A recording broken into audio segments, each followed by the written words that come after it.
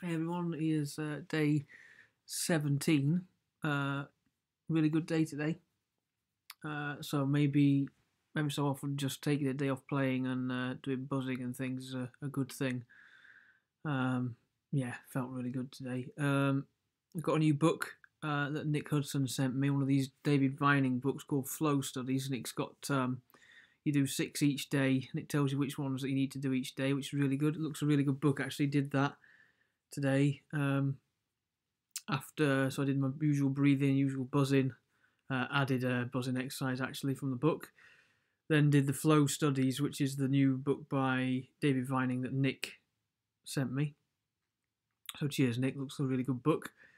Uh, and then carried on, did Arban and some Arban tunes and the warm down. So uh, yeah, feeling really good today. Um, hopefully it's not going to impact on tomorrow and tomorrow will be absolutely terrible, although I have a feeling that that's how it's going to tend to go. Uh, but we'll wait and see. Uh, and then uh, hopefully get some, some pieces going as well um, next week. Some simple stuff. It'll be good. I think uh, my chops feel up to that now. So yeah, uh, not even three weeks, and we're hopefully into pieces. So that's that's all good. Uh, I hope your practice is going well. Um, try and get some playing on sooner rather than later. It's hard in here to try and get get some decent sound. Actually, it's I have tried. Uh, I'm not I'm not going to put any something. Well, it's not going to be great, is it?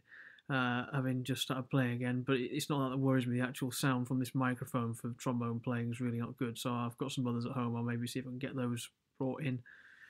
See what we can do. But yeah, uh, yeah, good to see everyone else is going well. And uh, yeah, just remember that it's all about building it up and accept some days you're going to have not so good days and other days you're going to have good ones. I've had a good one today, but I'm resigning myself already to the fact that tomorrow's probably going to be terrible. So yeah, there we go. Um, but I'll let you know how tomorrow goes anyway tomorrow. And uh, yeah, we'll see how it goes. See you later.